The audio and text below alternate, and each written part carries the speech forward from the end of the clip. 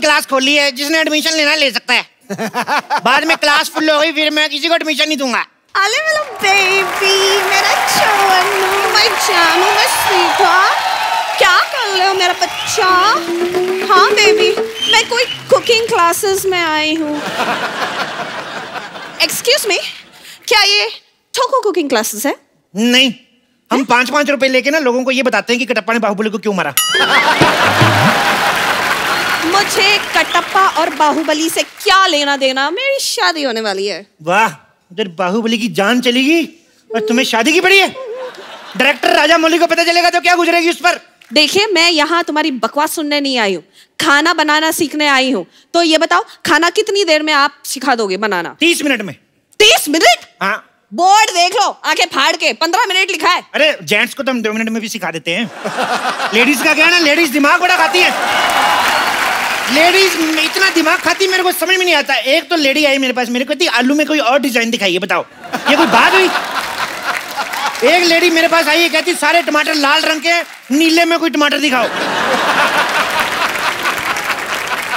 देखो मैं तुम्हारी बकवास सुनने नहीं आई हूँ ओके तुम लड़कियाँ किसी की सुनती कहाँ हो? अपना तो रोना भी दूसरों को चिल्ला रही सुन रहा है तू रो रही हूँ मैं। वाह। और हमारी बात भी नहीं सुनोगी। देखिए या तो आप अपना इलाज करवाइए या फिर आगरा शिफ्ट हो जाइए। तुम मेरे लिए ताजमहल बनाने चाहती हो? नो no, डार्लिंग मुझे तुम्हारे लिए कुछ बनवाने की ज़रूरत नहीं है क्योंकि पहले से ही वहाँ पर एक पागल खाना बना हुआ है। तो पहले से बना हुआ तो ठंडा हो गया होगा। ताज़ा बनवाओ कुछ। ओके okay, मुझे लगता है मैं गलत जगह पर आई हूँ अरे क्या बात कर रही है? सोनी से अच्छी जगह कोई है नहीं आप कमाल कर रही हैं आप। बताइए क्या सीख रहे हैं? हमारे पास दो पैकेज है एक पाँच हज़ार वाला एक दस हज़ार वाला। Really really? दोनों में क्या फ़र्क है? पाँच हज़ार में जैसे हम भरता जो है ना तो ही। बना देते हैं। लेकिन अगर आप हमें दस हज़ार देंगी तो हम पूरा प्रॉपर तरीके से भरता बनाएँगे। नहीं नहीं वो दस हज़ार वाला चलेगा। है। ये रहो तुम्हारी फ़ीस दस हज़ार? दस हज़ार रुपए? अच्छा। है। अच्छा आपकी शादी हो रही है ना? यस वो बताइए शादी में कितने दूल्हे आ रहे हैं? शादी में दूल्हा एक ही है बिकॉज़ इट्स अ शादी स्वयंवर नहीं है। ओके okay, तो घोड़े कितने आएँगे? अरे दूल्हा एक है तो घोड़ा एक ही होगा। एक दूल्हा एक घोड़ा तो ऐसे पता कैसे चलेगा दूल्हा कौन है घोड़ा कौन ये बताओ फिर लड़के के कितने बाप आ रहे हैं? अरे लड़के का एक ही बाप है। ओके okay, और माँ? माँ भी एक ही है। वेरी पुअर फैमिली तो बराती कितने आएँगे? चार पाँच सौ? चार पाँच सौ बराती। इतने तो बाहुबली में नहीं आए थे वाह। चार पाँच सौ बराती। देखो खाना बनाने के लिए सबसे ज़रूरी है प्रार्थना करना। आओ प्रार्थना करते हैं। हे ईश्वर हम आलू की सब्ज़ी बनाना जा रहे हैं। गलती से अगर कहीं मैं आलू का कीड़ा काट दूँ तो उसको जीरा समझ के माफ़ कर देना। कीड़े वाला खाना? मुझे नहीं सीखना मैं जा रही एक मिनट। किधर जा रहा? ओके। तुम्हें सिखाना है ना? सिखाओ चुपचाप। कुछ ऐसा सिखाओ जिसे खिला के मेरे सास ससुर खुश हो जाए। सास ससुर को तो फिर दादा दादी बनाओ फिर तभी खुश होंगे। रहने दो। भटूरे बनाना सिखाओ। तो मैं आपको जीजा भटूरा बनाना सिखाता हूँ। इज़ जीजा भटूरा। अरे बहुत आसान है जैसे आटे में हाँ। इतना सारा घी लेके उसमें ऐसे ऐसे डाल के उसको साइड पे रख दो। ओके। उसके सामने जानबूझ के चावल बनाने शुरू करो। तो आटा आएगा गुस्से में गुस्से में इसका मुँह जीजे की तरह फूल जाएगा। उसके बाद जीजा भटूरा तैयार। समझ गई। मुझे ये जीजा भटूरा नहीं बनाना है। आलू की सब्ज़ी बनाना सिखाओ। आलू? आलू तो पहले सब्ज़ी होता है। अच्छा वैसे वाली सब्ज़ी। आलू वाली सब्ज़ी क्यों सीखनी है आपको? मेरे होने वाले हस्बैंड को ना आलू बहुत पसंद है। आलू पसंद है तो आपसे शादी क्यों कर रहे फिर? खाने में पसंद है। खाने में? जो आदमी अपनी मनपसंद चीज़ को खा जाता है वो आदमी ठीक नहीं है। कल वो तुम्हें खा गया तो? एक्सक्यूज मी आप पागल पागल तो नहीं हो? हैं? ना। थोड़ा दीवाना हूँ। थोड़ा परवाना हूँ। देखो अब मैं तुम्हें आलू की सब्ज़ी सिखाता हूँ। ओके ओ माय गॉड पर आलू की सब्ज़ी कैसे बनाए? हैं दो ही आलू हैं। इसको दो से तीन करते हैं। दो से तीन कैसे करेंगे? इनकी शादी कराते हैं। आलू की शादी होएगी। सोचो इनके छोटे छोटे आलू होंगे बड़े होके उनके पराठे बनेंगे। वाह मज़ा आ जाएगा। हो सकता है उन्हीं में से कोई एक आलू का पराठा प्रधानमंत्री खाएँ फिर वो देश का पराठा बन जाएगा। तो पागल हो। तुम एक समाज सेवक को पागल बन रही हो? यू फूल चलो आलू की सब्ज़ी बनाते हैं। अच्छा बताओ आ, इस सब्ज़ी में और क्या डलता है? जैसे आलू में हम लोग प्याज डाल सकते हैं पर मैं प्याज काटता नहीं। क्यों? बहुत ज़्यादा क्यूट है मैं काटता हूँ मेरे को रोना आ जाता है। इसलिए मैं अंडा खा लेता हूँ। वाह वाह वाह वाह वाह वाह वाह। प्याज काटने में तकलीफ़ होती है अंडा खाने में कोई तकलीफ़ नहीं होती। अंडे में तो जान होती है। अंडे में प्रोटीन होती है आपको पता? और मैं कोई खुशी से नहीं खाता हूँ। वो तो मुर्गी आके मेरे को दे जाती है उसका घर परिवार चलना चाहिए बेचारी का मैं खा लेता हूँ। अरे मुर्गी कहाँ अंडे बेचने जाती है? शी इज़ वर्किंग क्या काम करती है तुम्हारी मुर्गी? यही काम करती है अंडे देने का ही और क्या? देखो अब ना आप मुझे गुस्सा दिला रहे हो। देखो गुस्से के लिए मेरे पास एक बड़ा मज़ेदार पराठा है सिद्धू पराठा। सिद्धू पराठा? इसको खाते ही हँसी निकल जाती है। इसके हाँ। लिए। क्या करना पड़ता है? आटा आटा गूंद के चूल्हा ऊपर लगाना पड़ता है। फिर आटा गूंद के ऐसे ठोको ऐसे ठोको। तो सिद्धू पराठा तैयार। बहुत अच्छा बनता है। आ हेलो बेबी मेरा बाबू मेरा चोना मेरा क्यूटी पाई मेरा नान खताई मेरा बेबी हाय सोना अच्छा मेरे बाबू ने खाना खाया? अच्छे से खाया ना? फ्री होके फ़ोन करती हूँ। जानो मेरा बच्चा सुनो। यस तुम्हारे जानू तोतला है? नहीं मैं ना प्यार से उससे इस तरह बात करती हूँ। ऐसे प्यार से मतलब तोतले हो जाते हैं? हाँ जब तुम्हें प्यार हो जाएगा ना तुम भी तोतले बन जाओगे ओके? जैसे मेरे को थोड़ा थोड़ा आपसे हो रहा है। मैं तो तोतला हुआ नहीं। मतलब शर्म लिहाज हया सब बेच के खा गए हो। अरे मेरी शादी होने वाली है। तुम किसी और की हो जाओगी? आ। प्लीज़ इस वक्त मुझे खाना बनाना सिखाओ। क्या सीखना है बताओ। आ, बंद गोभी की सब्ज़ी। बंद गोभी नहीं हम सिखाते। क्यों? कोई फ़ायदा नहीं उसका इसको खोलते जाओ खोलते जाओ अंदर कुछ नहीं निकलता मैं बता रहा हूँ।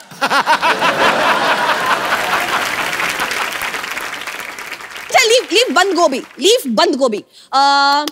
भिंडी की सब्ज़ी। भिंडी की सब्ज़ी ऐसे बनाते हैं जैसे भिंडी को पहले लो Yes. आँखें बंद करके ऐसे इसको लाइट बंद करके धो लो फिर उसके ऊपर कपड़ा डाल दो। आँखें बंद करके लाइट बंद करके कपड़ा क्यों? ये सवाल आप पूछ रही हैं? यस शी इज़ लेडी यार she is lady finger lady हो गया ऐसी बात करती हैं आप। आपको कुछ ना प्रॉब्लम है दिमागी प्रॉब्लम है। सब्जियों में मेल फीमेल कब से होने लगा? क्या बात कर रही हैं आप? हमारी सब्ज़ियाँ हमारे ये आलू है ना ये तो अभी इससे पहले दुपट्टा लेके चलते हैं। अरे ये दुपट्टा लेकर चले अरे इसे छोड़ो तुम दुपट्टा लेकर चलो। फगेट दुपट्टा तुम कटप्पा लेकर चलो कुछ भी करो लेकिन आगे क्या करना है? वो तो बोलो। इतने प्यार से क्यों बात कर रही हो तुम? देखो ऐसे भिंडी को लो और कद्दू के साथ बनाते हैं। भिंडी एंड कद्दू ये ये कौन सी सब्ज़ी है? अरे कद्दू का फेर चल रहा है उसके साथ। अच्छा, सब्ज़ी अच्छी बनेगी। तो क्या शादी भी करवाओगे? हाँ तो करवाएँगे। अपनी शादी तुम करवा सकती हो। कद्दू की शादी नहीं बेचारा। क्या एक मोटे कद्दू को किसी से प्यार करने का कोई हक नहीं है? प्यार? प्यार करने का हक है। प्यार ही क्यों? हनीमून मनाने का हक है। खड़े खड़े मुँह क्या देख रहे हो? भेजो इसे हनीमून भेजो। देखो ये शरीफ ठेले की सब्ज़ियाँ ऐसे नहीं आ जाएँगी। आराम से उनके फेरे होने दो। चलो चलो इन पे मसाला डालते हैं। ओ, ओ, बन जाएगी। एक काम करो जब तक सब्ज़ी पक रही है ये लो तेल। मेरे इधर मसाज कर दो शोल्डर। तुम्हारा दिमाग खराब है? नहीं दिमाग ठीक है शोल्डर में थोड़ा पेन इधर कर दो। अरे मैं तुम्हारा शोल्डर क्यों मसाज करूँ? Come on baby you can do it come on come on Anjali come on Anjali Anjali Anjali हो गया? मेरा नाम अंजलि नहीं है। तो पतंजलि है? क्या फिर हमारी बातें मेरी समझ में नहीं आ रही। जस्ट शट अप मैं यहाँ से चली जाऊँगी। ऐसे कैसे चली जाओगी? अभी मेरा सब्ज़ी बना के सिखाने का मूड आया और तुम जा रही हो? ठीक है। फॉरगेट वेज नॉन वेज में कुछ पकाना सिखाओ। अ, मुर्गा कैसे बनता है? मुर्गा? ऐसे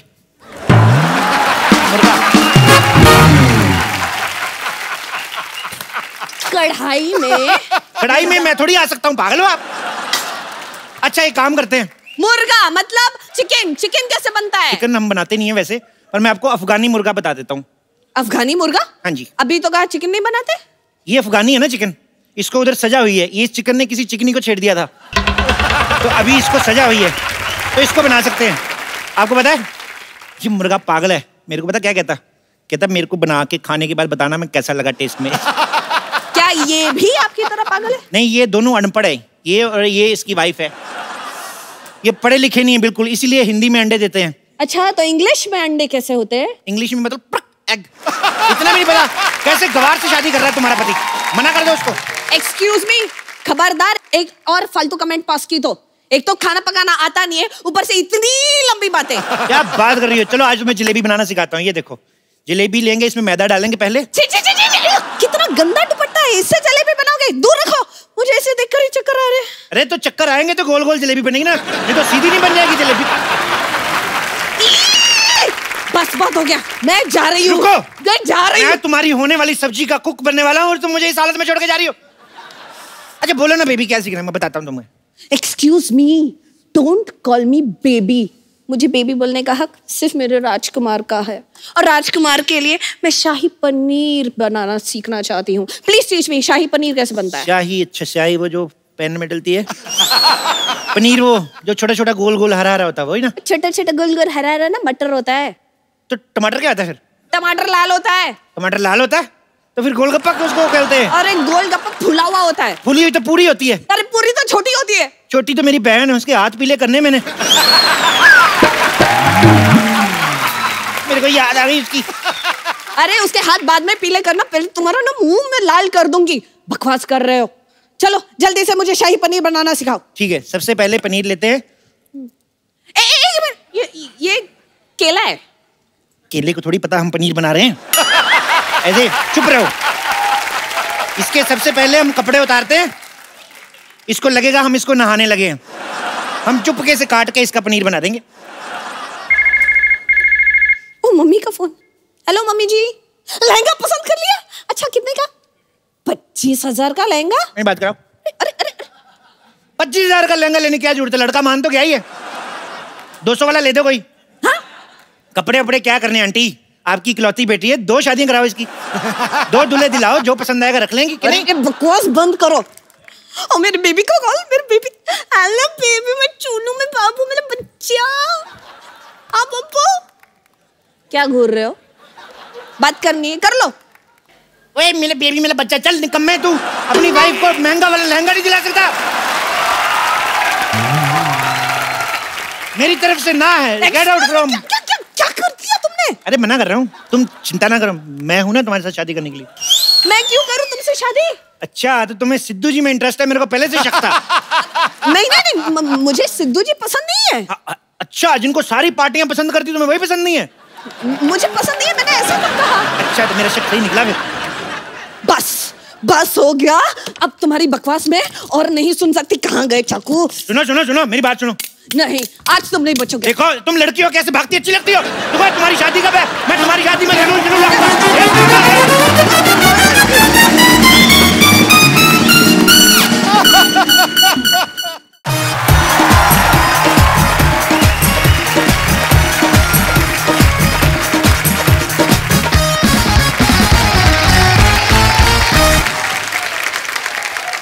पाजी आज जो हमारे मेहमान हैं ये वो खास मेहमान हैं जिन्होंने 60s और 70s में ऐसी अदाकारी की कि उस दौर को गोल्डन एरा बना दिया। मैं इनकी तारीफ़ करने के लिए बहुत छोटा हूँ। आप सबकी जोरदार तालियों के बीच बुलाना चाहूँगा सुपरस्टार आशा पारेख जी को।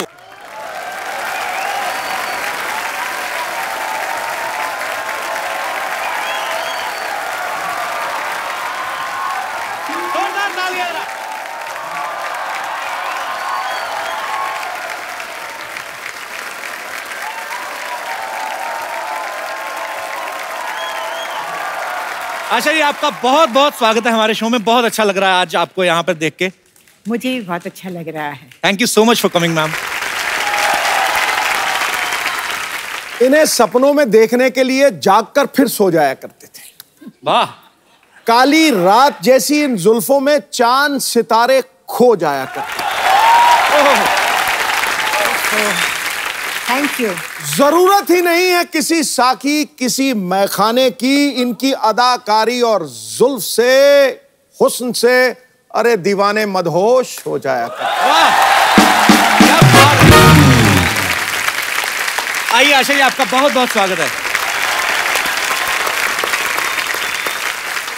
अभी हाल ही में आशा जी की ऑटोबायोग्राफी जो है द हिट गर्ल लॉन्च हुई। है आशा जी आपको बहुत बहुत मुबारकबाद। थैंक यू बहुत सारे ऐसे किस्से हम वहाँ पे पढ़ेंगे जो हम नहीं जानते हैं, और अब आपकी बुक पढ़ के वो किस्से जानने को मिलेंगे। तीसरी मंजिल शिकार, दो बदन, कटी पतंग, कारवां, जख्मी, चिराग, आए दिन बहार के, फिर वही दिल लाया हूँ, लव इन टोक्यो। ऐसी ढेर सारी, पता नहीं कितनी सुपरहिट फ़िल्में दी हैं, इतनी सारी सुपरहिट फ़िल्में देने के बाद आपने कभी सोचा था कि एक नहीं नहीं। मैं बोल रहा हूँ कि इतनी सुपरहिट फ़िल्में देने के बाद, कभी आपने सोचा था एक क्रिकेटर और पॉलिटिशियन आपके लिए शेयर पढ़ेंगे बदमाश बंदा है यार बहुत ही बदमाश है। पाजी आज शेरों का पिटारा जरा तैयार रखो क्योंकि 60s और 70 के दौर में से अच्छा। एक और हीरे को मैं इस मंच पे बुलाना चाहता हूँ। एक ऐसी कमाल की फनकार हैं कि आज भी बॉलीवुड में जब कोई हीरोइन डांस नंबर शूट करती हैं तो वो सबसे पहले इनका नाम लेती हैं। आप सबकी जोरदार तालियों के बीच बुलाना चाहूँगा। Dancing queen the one and only evergreen Helen ji.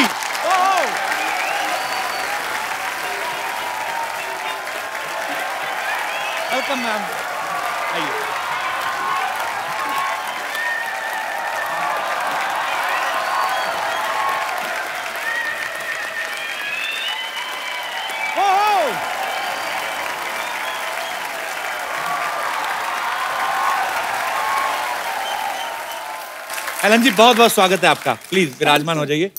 सावन सी सुहानी अदाएँ। वाह। इन्हें मौसम पैगाम लिखते हैं।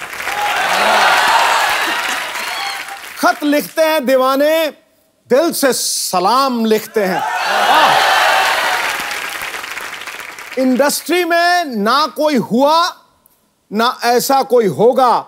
हम डांस के पिछले और अगले सौ साल इनके नाम लिखते हैं।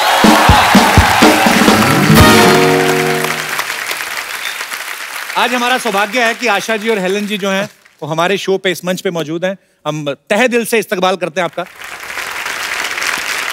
पाजी जब फ़िल्म रिलीज़ होती थी ऐसा भी होता था कि डिस्ट्रीब्यूटर ये बोल देते थे कि फ़िल्म तो कंप्लीट है लेकिन हेलन जी का गाना कहाँ है इसमें? तो हेलन जी का गाना एक डालना पड़ता था। तो हेलन जी आपने ये डांस कहीं से ट्रेनिंग ली थी? हेलन जी आपने कहीं? जी हाँ। When I was in school मैं मणिपुरी अच्छा। डांस सीखी। और फिर उसके बाद थोड़ा सा भरतनाट्यम और अच्छा। कथक। तो मैम भरतनाट्यम मणिपुरी जो है क्लासिकल फॉर्म्स हैं। पहले जमाने में mythologies you would do Bharatanatyam steps am I right? Yes. this costumes and all. So you need the stance of Bharatanatyam जी। So that what I learned. Okay कि अगर कोई एक दो भरतनाट्यम स्टेप्स है I should know how to pose तो पर ये जब आप ये गाने पे किया कि मेरा नाम चिन चिन चिन ये तो मतलब ये एलन राम आपको कोई कोरियोग्राफर होते थे उस समय? Yes yes very good choreographers अच्छा। पता नहीं हमें ऐसा लगता था आप आपके अपने दिल से ही निकलते हैं सारे स्टेप दिल से तो डांस करती थी मैं। इसमें तो कोई शक नहीं। क्योंकि if you don't do it with your heart and soul it doesn't show on the screen and it shows on the screen that's why all these wonderful people love me still मुझे लगता है कि दुनिया का कोई choreographer इन्हें सिखा नहीं सकता। और जितने भी कोरियोग्राफर पैदा हुए हैं वो सब इन्हीं से सीखे ये मुझे लगता इसमें तो कोई शक नहीं है। ये सब क्रेडिट मुझे मत दो प्लीज़ सबसे पहले क्रेडिट ऊपर वाला उसके बाद कोरियोग्राफर्स उसके बाद आशा भोसले जी उसके बाद म्यूज़िक डायरेक्टर उसके बाद correct it's a team work It's a teamwork. Asha ji जितनी भी आपकी फ़िल्में देखी जी। आपका और राजेश खन्ना साहब की केमिस्ट्री बड़ी अच्छी थी मुझे वो गाना याद आ गया अच्छा तो हम चलते हैं पर आज हम आपको जल्दी जाने नहीं देंगे अच्छा जी जब आपने फ़िल्में शुरू की।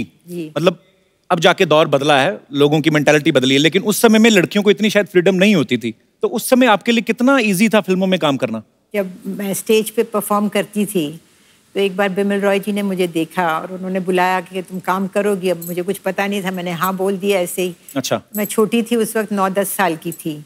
तो फिर मैंने बाप बेटी और माँ में उनके साथ काम किया था। Okay. इसलिए कोई रुकावट नहीं थी क्योंकि दादाजी फाइनेंस कर रहे थे पिक्चरों में जी, जी। प्रॉब्लम नहीं थी। पर बड़े अच्छे आपके एडवांस दादाजी थे हमें तो देखने में नहीं देते थे फ़िल्में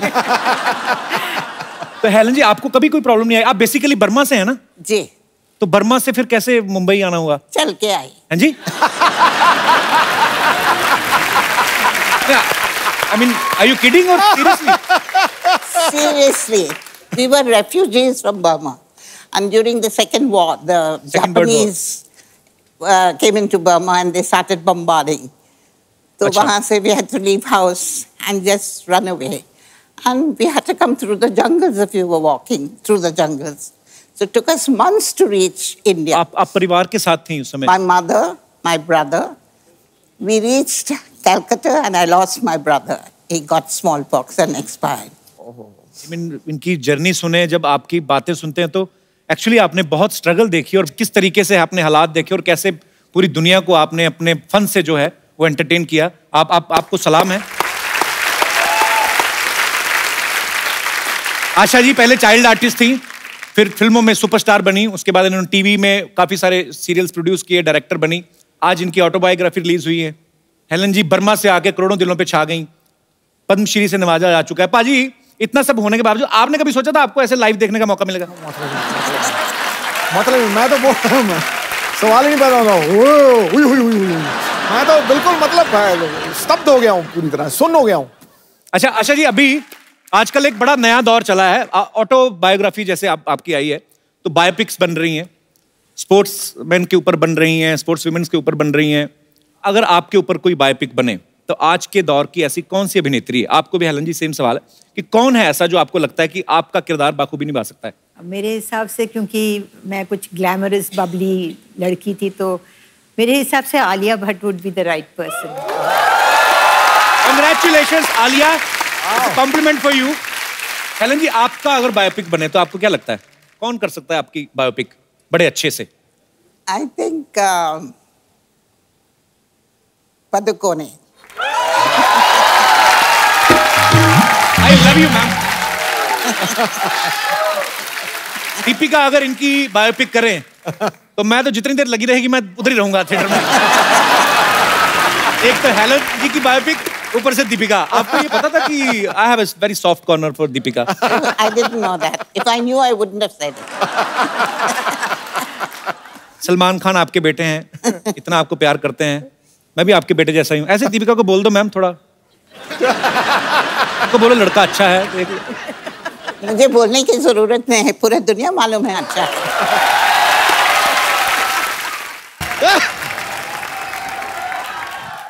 हेलन जी आशा जी आशीर्वाद दीजिए बड़ा खुश हुए हम आज आप दोनों को देख के। बता नहीं सकते। ए what is up brother anyway, Asha ji हमको बड़ी आशा थी कि आशा जी से एक दिन मुलाकात होगी और लीजिए आशा जी आ गई और हमारी आशा पूरी हो गई तो, तो हेलन जी भी आई उनके लिए क्या किया था? हाँ ये आपने आशा सवाल किया है। लीजिए इधर भी आशा कैसे हमने यूज़ कर लिया?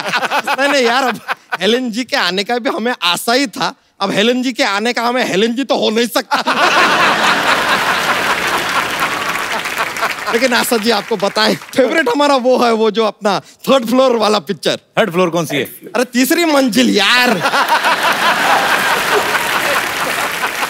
ये आदमी का आप रहने दीजिए इनका थोड़ा सा ना अंग्रेज़ी में पैदल चलता है। उस दिन हमसे कह रहे हैं कि देख देख क्रिकेट का ज़िंदा मैच आ रहा है। हमने कहा ज़िंदा मैच क्या होता है? फिर पता चला लाइव का बात कर रहे हैं।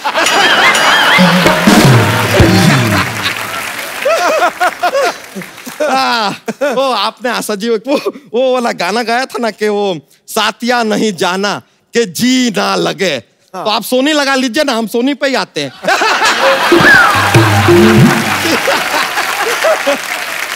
a jokes ऐसा जोक्स हमारा ऐसा फ्लो हो जाता है कभी कभी शरीर में टिकता नहीं जाता तो।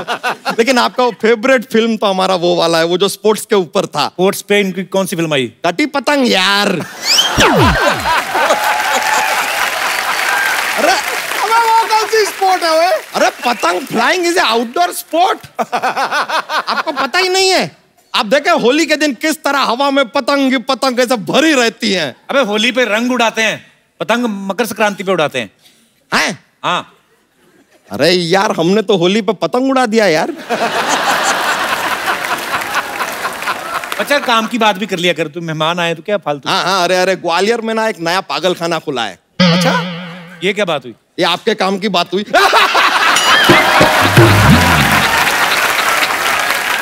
लेकिन Helen ji with due respect आपको सच पता है आपके गाने सुन सुन के हम बड़े हुए हैं। आपके गाने सुन सुन के बड़ा हो गया उसके बाद ये फैलने लगा। आपके दो गाने और आ जाते ये फट सकता था। लेकिन आपको एक सीक्रेट बताएँ हेलन जी आप ना सोले में पचास हज़ार ज़्यादा कमा सकती थी। कैसा? नहीं नहीं हमने गाना देखा आप डांस कर रही थी ना? हाँ। गब्बर सिंह सामने ही बैठा था। पुलिस को फ़ोन करके बता देती तो पूरा पचास हज़ार। पॉसिबल है। और उस समय फ़ोन कहाँ होते थे? मोबाइल फ़ोन कहाँ होते थे? अरे तो किसी को पाँच हज़ार दे के दौड़ा देती क्या जाता है? फोर्टी फाइव थाउज़ेंड कम थोड़ी होता है यार। बहुत होता है। लेकिन आशा जी हेलन जी एक बात बताएँ आपके ना टाइम में बहुत अच्छा था। ये जो सिंगर होते थे ना उनको बहुत इज़्ज़त दी जाती थी। हमने देखा कि कोई सिंगर ऐसा गाना गा रहा है, लेकिन वो हाफ़ रहा है, थका हुआ है, लेकिन उसको रोकते नहीं थे, गाना काटते नहीं थे। वो उसको वैसे ही गाने देते थे और गाने का हिस्सा बना देते थे। हमने वो देखा, दुनिया में लोगों को कभी हो जाता है। बताइए।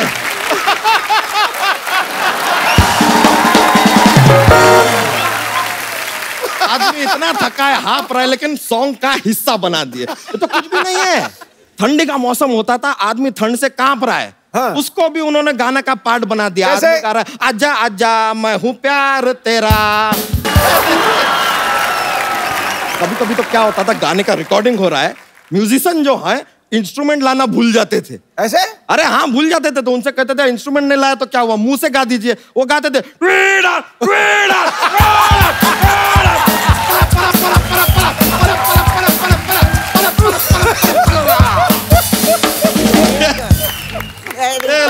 अच्छा वो जानबूझ के निकालते थे ऐसी आवाज़ बर्मन साहब। अरे रहने दीजिए आप हमें खाम खाम बर्गर ला रहे हैं। अबे बर्गर ला रहे हैं? क्या यार खाने पीने की बर्गर ला रहे हैं? अरे लेकिन बर्गर बोल के थोड़ा मज़ा आ जाता है यार। मुँह में पैटीज का स्वाद आता है तो क्या जाता है?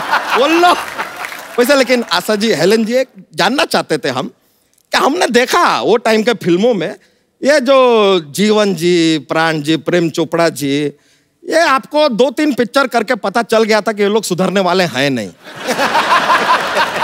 किडनैपिंग तो करेंगे ही करेंगे। जब अगला पिक्चर साइन करते हैं तो बोल दीजिए कि यार इनको नहीं चाहिए, ऐसा कुछ आप मना भी तो कर सकते हैं। दो तीन बॉडीगार्ड रख लीजिए। हर बार किडनैप होते हैं। हमको बुरा लगता था यार। बार बार और कभी कभी ना हमारे दिमाग में ये थॉट भी आता था कहना सिटी यार नहीं टूट जाएगा सेंटर में बैठ जाओ। अच्छा सेंट बैठने दीजिए। नहीं कोई नहीं। अच्छा तो आजकल का जो हीरोइन है ना उनको ज़्यादा किडनैप करते ही नहीं है। वरना आज का हीरोइन को किडनैप कर लो तो सीधा पहाड़ी पे जाके सबसे पहले वो सोशल मीडिया पे शुरू हो जाएँगी। On the top of Kali Pahadi.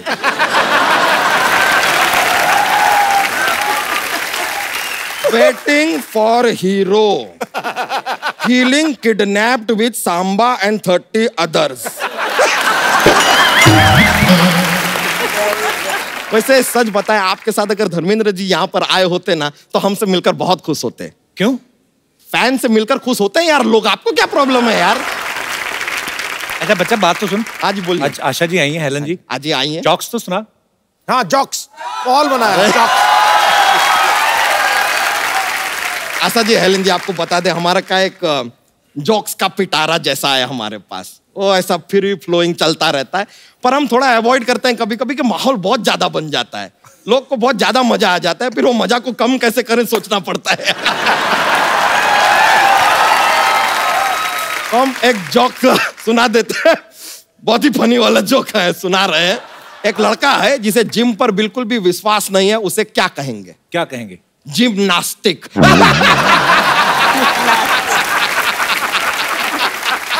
नास्तिक जिम्नास्टिक सॉरी सॉरी मायलो पौजी मायलो पौजी वैसे बहुत खुशी हुआ आपसे मिलके।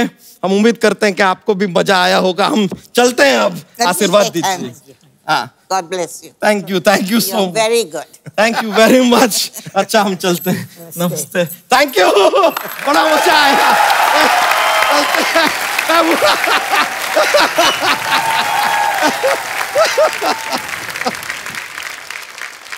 आजकल इतनी सारी फ़िल्में आने लगी हैं आशा जी। एवरी वीक दो चार फ़िल्में रिलीज़ हो जाती हैं रीजनल अलग से होती हैं। उस समय बहुत कम फ़िल्में आती थी। उस समय मैम जब आप पब्लिक के बीच में जाते थे आप लोग कैसे पब्लिक अपीयरेंस करती थी? ऐसे ही चले जाते थे। मैं बुरका पहन के जाती थी। तो मतलब उस समय तो इतना ज़बरदस्त क्रेज को हमें अभी तक याद है कि हम बचपन में जब देखते थे तो मैंने तो एक किस्सा आपका ये भी सुना कि चिन चिन चू जब आया था तो उस समय आपको मेरे ख्याल से ट्रैफ़िक सिग्नल पे घेर भी लिया था लोगों ने। जी और माय मदर इतनी खुश हो गई। First time Helen was recognize अच्छा। तो उन्होंने क्या किया? उन्होंने मेरे सर को विंडो से बाहर किया और कहा हाँ हाँ ये हेलेन है।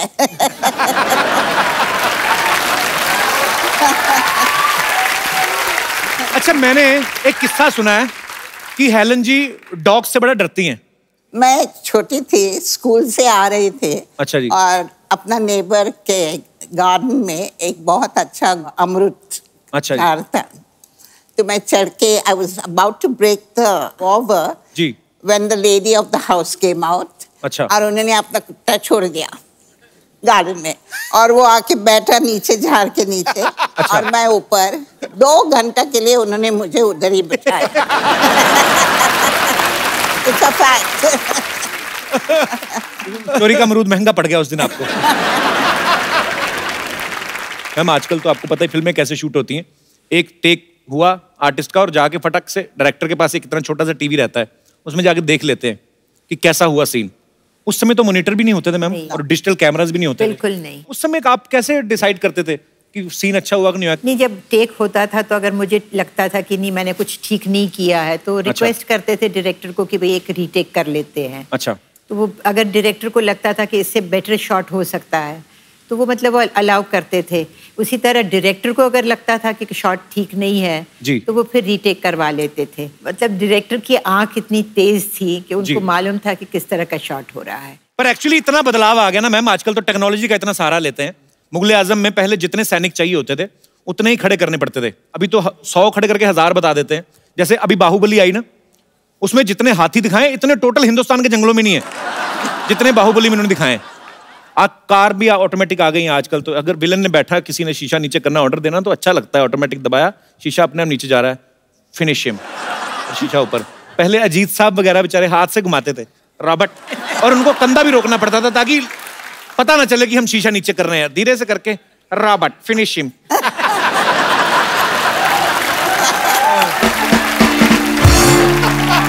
पर एक चीज़ है मैम, आपके समय की जो फ़िल्में थी उनमें रोमांस भी जो दिखाते थे, इतना क्लीन दिखाते थे हीरो हीरोइन दो मिल रहे हैं, दो फूल मिल जाते थे तो पता चल जाता दर्शकों की खुशबू आने वाली है।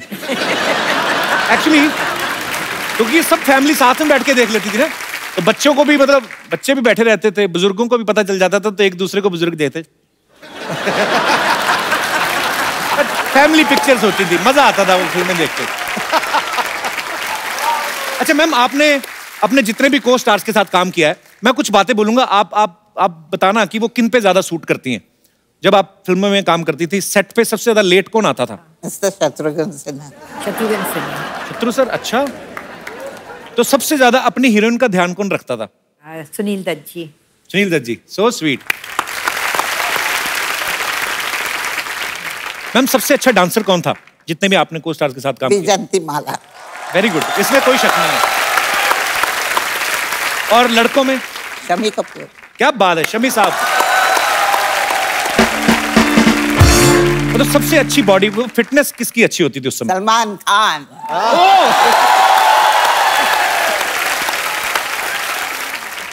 अच्छा जैसे आजकल फ़िल्में आती हैं तो हीरो हीरोइन जो हैं अपने गाने के हिसाब से कि जैसा परफॉर्म करना है वैसे ड्रेस देख लेती हैं। आप इतनी भारी भरकम साड़ियाँ पहनती थी इतने खूबसूरत हेयर स्टाइल मुझे नहीं लगता कि सिक्सटी सेवेंटीज के बाद कोई ऐसा दौर हुआ है? मतलब उस समय हेयर स्टाइल जो है उनके कॉपी किए जाते थे आपके? लोग बोलते थे कि ये साधना कट है ये आशा जैसा हेयर स्टाइल है उनके जैसी साड़ी है। इतने अच्छे अच्छे हेयर स्टाइल भारी भरकम जुड़े भी होते थे हीरोइन के। कैसे मेंटेन करते थे मैम आपको कोई प्रॉब्लम नहीं आती थी? नहीं प्रॉब्लम तो नहीं आती थी लेकिन हाँ तकलीफ़ बहुत होती थी क्योंकि बहुत सारे पिन्स डाले जाते थे बालों में। और हेलन जी आप तो ऊपर से डांस भी करना। वो तो सब ठीक है लेकिन जब भी पैकअप आवाज़ सुनती ना जी। तो you should have seen me I would go into the makeup room सब सब निकाल दो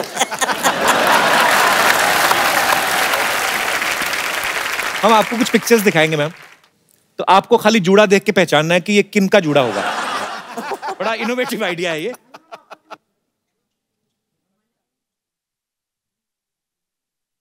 बबीता। बबीता। अच्छा ओके नेक्स्ट मुमताज़। मुमताज़। क्या बात है ये ये है friendship next that looks like Sadhana yeah yeah क्या बात है। नेक्स्ट शर्मिला टैगोर वाह। ओह या और ये? Asha Parekh that's me that's you वाह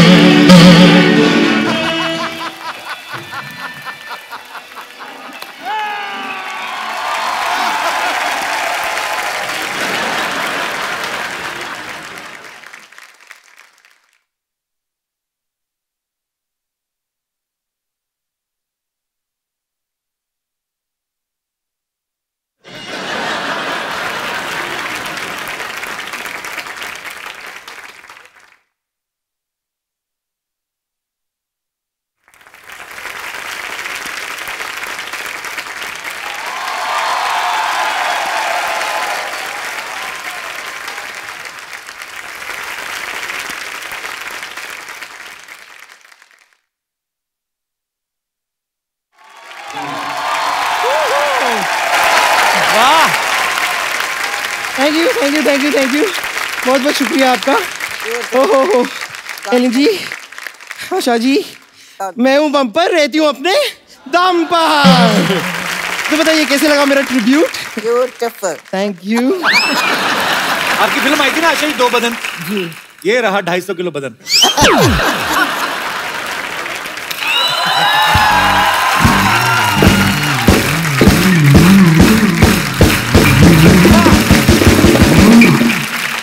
कमाल की बात की है आपने। आपने तो दिल जीत लिया मेरा।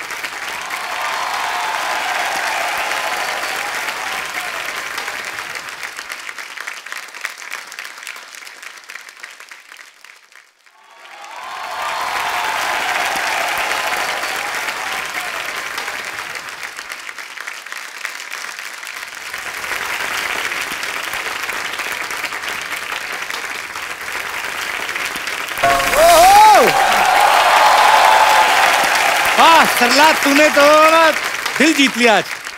आज तो तू चाहे तो नूडल भी बेच सकती है। इतनी मेहनत करके आई है क्या बात है बहुत hello Asha ma'am hello Helen ma'am ma'am मैं सरला देखना इतनी तू मेहनत करी ना तुझे सर्कस में काम मिलेगा एक दिन। कप्पू यार तुम कुछ भी बोलते हो। मैं आशा मैम की इतनी बड़ी फ़ैन हूँ इतनी बड़ी फ़ैन हूँ और फैंस तो पाजी हीरोइंस को फॉलो करते हैं ना। बिल्कुल बिल्कुल। और ये आपको तब तक फॉलो करेगी जब तक आप इसको सौ रुपए दे देती। तुम कुछ भी बोल रहे हो तुम अ, बम्बर को क्यों नहीं कुछ बोल रहे हो? वो भी तो कुछ बनकर आई है। हाँ लेकिन मैं तो इंसान बन के आई हूँ ना। तुम कबीज का बच्चा बन के आई हो। वैसे बम्पर तुम्हारे अंदर इतना कॉन्फिडेंस आया कहाँ से? ये जो तुम हेलेन मैम जैसी बन के आई हो। मैं कॉन्फिडेंस आया क्योंकि मैं सुंदर हूँ और सुंदरता पे मैंने डिप्लोमा भी किया है।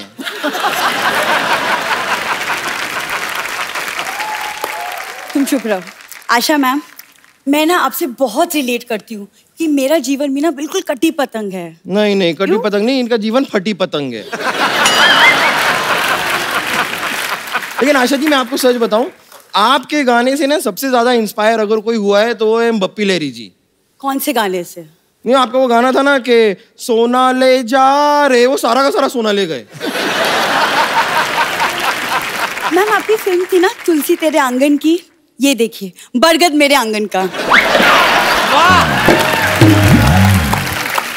तुम दोनों को नहीं पता एक बात का कि तुम लोगों को क्या लगता है ऐसे कपड़े पहन के आओगी तो हमारे मेहमान इंप्रेस हो जाएँगे? मुझे तो सिद्धू जी ने कहा था। क्या? मैंने कहा था इन्होंने मुझे कहा था कि एकदम हेलन जी की तरह बन के आई है सच में हेलन जी मैं मज़ाक नहीं कर रही हूँ। ये आपके बहुत बड़े फ़ैन हैं। आपको पता है एक बार ये क्रिकेट खेलने के लिए उतरे थे मैदान में आपका गाना बज गया कि पिया तू अब तो आ जा। पहली बॉल में आउट हो के आ गए। करला एक बात बताओ इधर आओ बैठो। चलो इसके दिमाग में तो भूसा भरा है। तुम्हारे पास तो दिमाग है घुटनों में तुम उसका इस्तेमाल करती कप्पू आशा मैम मेरी आइडल है। मैम मैं बिल्कुल आपकी तरह बनना चाहती हूँ। उस दिन पहले भी इसने ट्राई किया था आपको पता है? इसने इतना बड़ा जूड़ा बना लिया गर्दन लटक के ज़मीन से जुड़ गई। और फिर दो पैरों पे और एक सर से ऐसे चल के आ रही थी। मत किया अगर ऐसे काम सरला तू। कप्पू तुम कुछ भी मत बोला करो। मैं ना हेलेन मैम से टिप्स लूँगी। मैम आपकी फ़िल्म में जैसे गुंडे आपको किडनैप करते थे और फिर हीरो आपके बचाता था तो मैं भी चाहती हूँ कि आप मुझे टिप्स दें ताकि कोई गुंडा के मुझे भी किडनैप करे और फिर कप्पू आके मुझे बचाए। गुंडों से बात हुई थी वो माने नहीं कहते नहीं। मतलब? बोलते हम भी बहु बेटियों वाले क्यों उठाएँ किसी को? तुम नहीं लेकिन सच में देखा जाए तो इसे किडनैप करना ज़्यादा मुश्किल है नहीं। मतलब इसको किडनैप करने के लिए कार भी ले जाने की ज़रूरत नहीं है। इसे ऐसे पॉकेट में डाल के लेके आ सकते हैं। और इसे ऐसे बांधने के लिए रस्सी की भी ज़रूरत नहीं पड़ती है। और इसे तो बेहोश करने के लिए क्लोरोफॉर्म भी नहीं चाहिए। इसको बेहोश करना है ना थोड़ा सा ज़ोर से बोलिए चुप! ये सुन के बेहोश हो जाती कप्पू ने गलत कहा था। तुम्हारे दिमाग में भूसा नहीं। भूसा में थोड़ा सा दिमाग हुआ है। अब मुझे गुस्सा मत दिला वरना मैं तुम्हें घूसा मार दूँगी।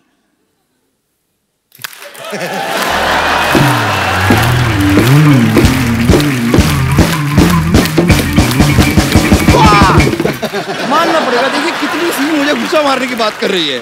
तो मैं रियलाइज़ होता है कि ये जो मैंने ताली बजाई ना, इसके बीच में अगर मैं तुम्हारा पेड़े जैसा मुँह डाल दूँ ना तुम्हारा मुँह भी तवा पराठा बन जाएगा। मैं तुम्हारा क्या करोगी? क्या करोगी? गुस्सा ना कर तू बेहोश हो जाएगी रहने करूँगी और तुम्हारे सारे पोस्ट डिसलाइक कर दूँगी। ओह! हाँ, मैं कितनी डर गई हूँ। ऐसा मत कीजिए। प्लीज़ मुझ पे दया कीजिए देखिए कैसी फालतू की बात कर रही है। तुम्हें पता है ऐसे मोटे मोटे होठों से ना ऐसी छोटी छोटी बातें अच्छी नहीं लगती तुम अपने आप को बहुत बड़ी फ़ैन मानती हो ना? हाँ मैं हूँ। चलो हो जाए मुकाबला। चलो कुश्ती। इंसान और बैल की कुश्ती नहीं होती। ओहो इतनी बड़ी बात। तो हो जाए म्यूज़िक दे दीजिए अभी पता चल जाएगा। कौन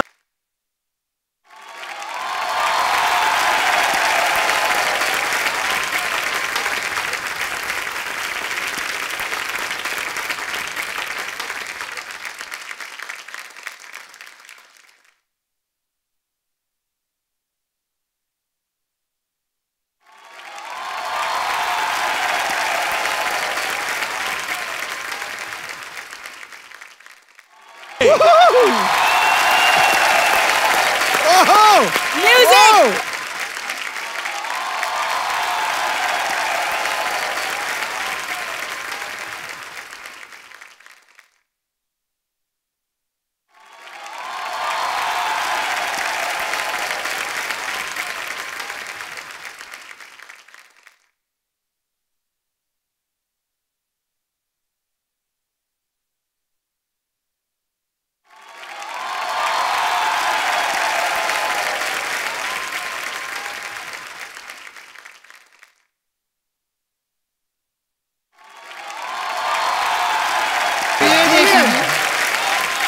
ब्रिलियंट देख लिया सबने मैंने इसे हरा दिया। एक एक सेकंड। नहीं नहीं।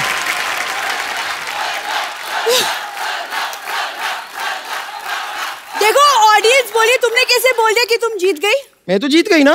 कैसे? कि मैंने तो सिद्धू जी सिर्फ़ शर्त लगाई थी क्या? कि आज मैं सरला को जोकर बना के सबके सामने नचाऊँगी वो मैंने करा दिया।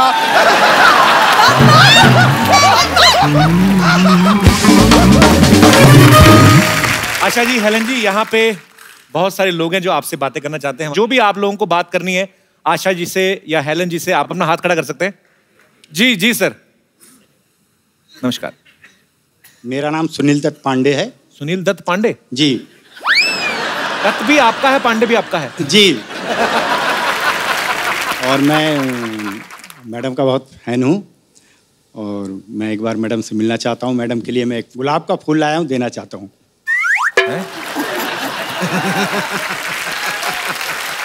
दे दीजिए। आइए। बहुत बहुत स्वागत है आपका। थैंक यू सर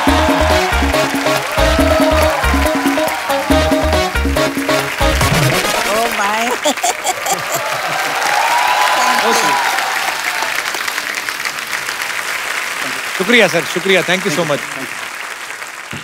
और कोई हमारे दोस्त? जी इस तरफ़ भी कोई दोस्त है। जी। हेलो। Hello ma'am. मेरा नाम पूछो क्या है? आप पूछो मुझे। मैंने नहीं पूछना। पूछो ना। पूछो तो सही। क्या नाम है मैम आपका? सरला। सरला।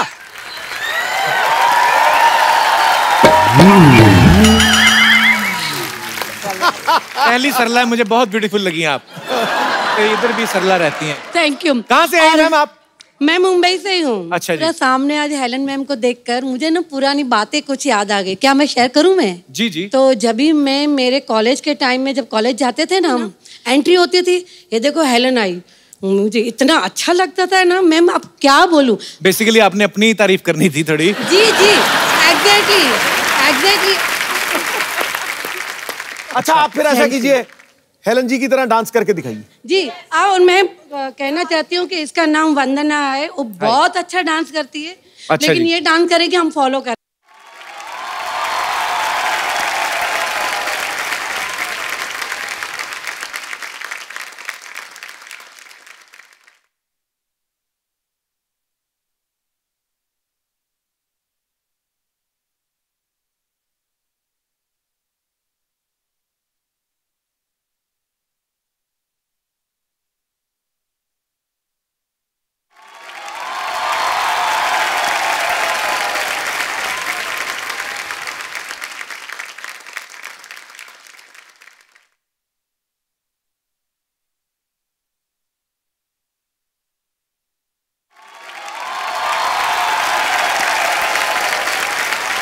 मैम यू सो मच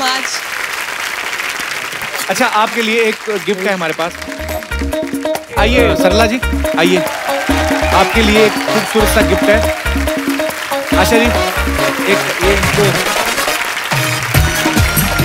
खूबसूरत सा मोबाइल आपके लिए। शुक्रिया।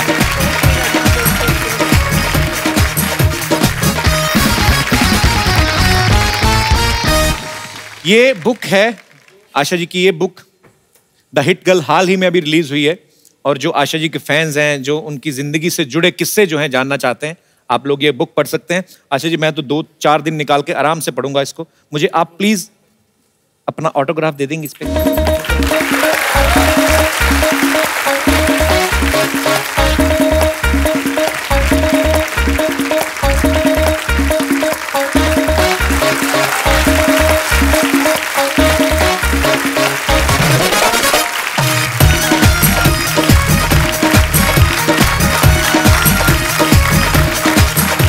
You so much ma'am thank you so much बहुत खूबसूरत गिफ्ट है मेरे लिए. Thank you so much ma'am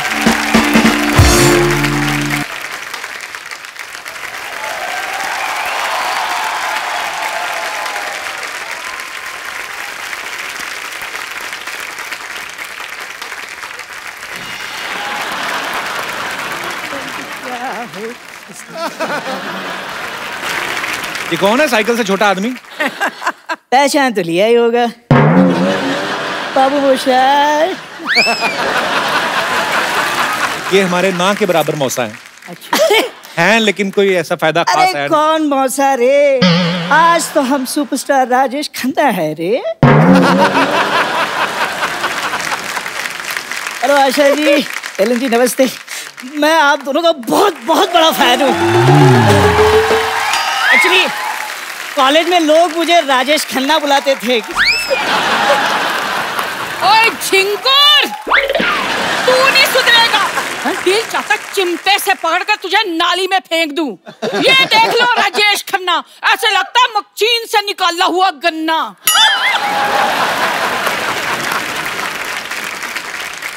My God hello Helen ji. Hello Asha ji. Hello Sidhu ji. Sidhu ji मुझे आपसे एक शिकायत है। क्या इतने सारे चौके छक्के मारे हैं आपने इसे बॉल समझकर जरा सा हिला देते। क्या पता ये सुधर ही जाता। आप दोनों झगड़ा क्यों कर रहे हैं? अरे झगड़ा कौन कर रहा है रे? देख कप्पू क्या है कि घर में चार बर्तन हो तो खड़केंगे ही ना? हाँ काम नहीं करेगा तो घर में चार बर्तन ही रहेंगे। आशा जी आप मुझे एक बात बताइए। आपको ऐसे नहीं लगता कि आपके घर में जो सबसे छोटी कटोरी है वो इससे बड़ी है? हाँ तो इसके लिए जिम्मेदार भी तो तुम ही हो। है? वो भी तो बताओ। हेलन जी मुझे एक चाय की प्याली नसीब नहीं होती। और ये अपनी सेहत बनाने के लिए 20-20 लीटर दूध पी जाती है रोज। अच्छा तो जब दूध वाला आता है पैसे मांगने के लिए तो उससे दो दो हाथ कौन करता हाँ, कहते मैंने बड़े बड़े काम किए हैं। अपनी बीवी को एक काम नहीं दिलवाया इन्होंने। झूठ बोल रही है। अरे नाटक में दुर्योधन का रोल दिलवाया था। छोड़ के भाग गई। अकल तो है ही नहीं। हाँ आप तो बड़े इंटेलिजेंट हैं। इनके डैडी जी ने, ने कहा दुकान पे गल्ले पर बैठो। ये ना गल्ले के अंदर घुसकर बैठ गए। आशा जी इससे अच्छा होता कि प्राण साहब मुझे उठा कर ले जाते। अरे ऐसे कोई तुम्हें उठा के कैसे ले जाएगा? महेंद्र बाहुबली के होते हुए कोई देव सेना को हाथ भी नहीं लगा सकता। हाय, हाय, हाय, हाय, ये देख लो मेरा छोटा सा बाहुबली। कल कहने लगे घर में बिल्ली ले आओ चूहे मुझे कूर कूर के देखते हैं। कल हम बाहुबली देखने गए थे। तो वहाँ इंटरवल में सारे लोग आकर इससे कहने लगे कटप्पा मेरे साथ एक फ़ोटो खींचा ना। कटप्पा मेरे साथ एक फ़ोटो प्लीज़ मुझे तो पता ही नहीं था कि मेरी बीवी कटप्पा लगती है। किसी काम के नहीं है आप समझे आप? क्या किसी काम के नहीं है? कभी काम नहीं किया मैंने तुम्हारा? कौन सा? पहले मैं तुम्हारे लिए भटूरा लेकर आया था सिद्धू जी एक भटूरा लाने में ना सड़क पे तीन बार गिर गए ये कौन है भाई?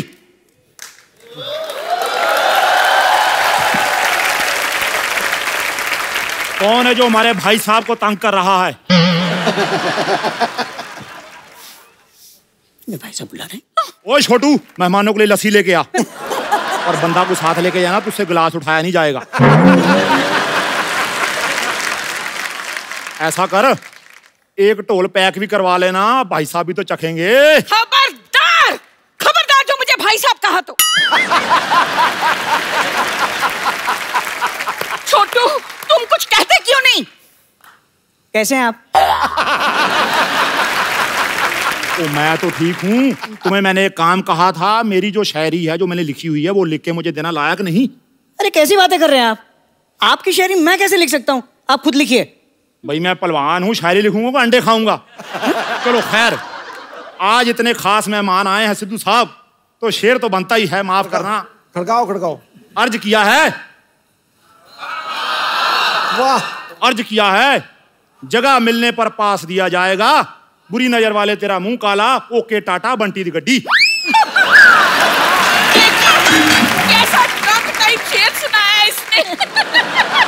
ओफो भाई साहब तो आप दस रुपए की शेर शायरी की किताब खरीद लेते हाँ। क्या बात कर रहा है छोटू? हाँ। शायरी किताब में मिलती है? हाँ। मुझे तो किसी ने बताया था ट्रक में मिलते हैं शेर।